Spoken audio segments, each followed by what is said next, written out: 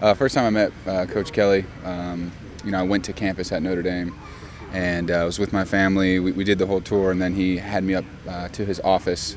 It was a summer day, um, and that's when he gave me an offer. And uh, I was able to make that switch from Washington State to Notre Dame three days later. But uh, he just made it feel like Notre Dame was home. You know, he was really good with my parents. Talked about you know my expectations, but he told me at the end of the day I got to go in there and battle to win the job, which I knew. And he talked about. Um, getting that degree. You know, the four for 40 is what they talk about a lot at Notre Dame, and he talked a lot about, um, you know, school's going to be hard, but it's going to be worth it. So uh, I remember that, and everything he said was true.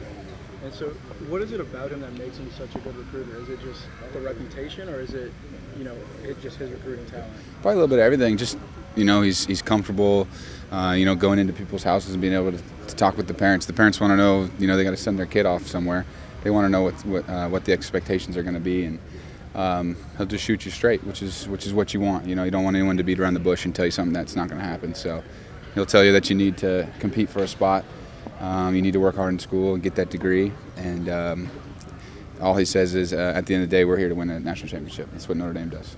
You hear a lot of guys sometimes once they you know get out of school, they say, "Oh, just football, whatever." How good is it to have a coach who you know really puts an emphasis on education? It's huge because football ends one day for all of us. You know, the NFL's hard, and uh, it could be a, a, year, it could be no years, or it could be a 10-year career. At the end of the day, most people work um, after football's over, so it's it's really really important to get that degree to have something to fall back on. So just day to day in the building, meetings, practice, whatever it is, just how is he as a coach? Good. He, yeah, real good. I mean, he's um, he'll joke with you as you walk around, but once you step uh, on the field in between those white lines, it's time to go, and he's there to coach and teach.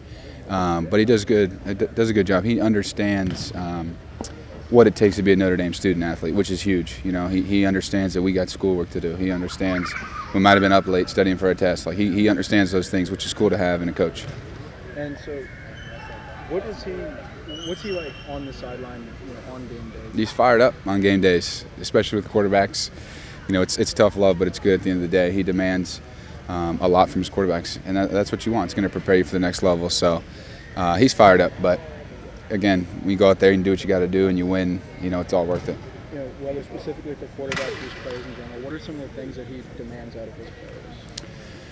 Uh, well, we have our traits of excellence. I won't name them all for you, but we got a lot that we preach every single day, and just being gritty, being smart, uh, going in every single day and, and working to, um, you know, get better at one thing every single day and just uh, 100%. You know, uh, everything that you got, whether that's in the classroom, he'll talk about that in the classroom, on the field, um, or just around campus as a person.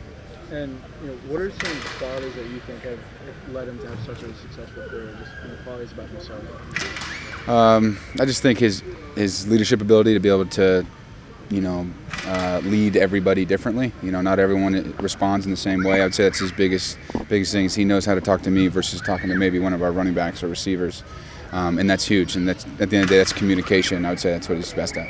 And so, a lot of people kind of throw the word culture around, talk about culture yep. culture of the team. And when Brian Kelly came down to Louisiana, everyone was talking about culture fit. You know, is he yeah. fit in here? Do you think it's as big of a deal as people make it out to be, or you think? I think when I first thought about it, um, I don't think so. I mean, he's going to go down there. You know, he'll change, and the team will change, and that's just part of you know how how it's going to work. But he's going down there to win games. He's done it everywhere that he's been. Um, he'll he'll find a way to fit into the culture. I'm not really worried about that. I think when I first thought about it, maybe, but I think about it more and more. Um, he's just going to demand excellence, and if you can't get a part of his program, then you probably won't be there you know. So what are your expectations out of him, out of that program, the next couple of years? I think they're going to win a lot of games. Um, and I don't, I don't know how much time it'll take, but I imagine what they're going through right now is a lot of the same stuff that I've been going through when I was at Notre Dame with him. You know, he's day in and day out just demanding 100% effort from everybody. He's uh, creating a culture as well as, um, I would say, getting used to the culture down there too. He's kind of doing both at once, which you should do as a leader. So uh, I expect him to win a lot of games when you think about your time at Notre Dame, is there any you know memory or story about him that just kind of sticks out? Ooh, I got a lot. No, nothing that sticks out. Just him on game day. Um, you know, maybe being fired up, but you come back and you do something good. You, you, you, lead the team. You never quit. Never you know, never fold, and at the end of the game, you know, put your arm around you and say, hey, you know, it's all worth it for moments like this. So that's those are huge. I remember those forever. Is there anything else that you want to say about him? No, just good luck. Excited to watch these games. I got to get out there and never been to, to Baton Rouge or to LSU, so I would love to go out there and, and watch a game. It's my goal.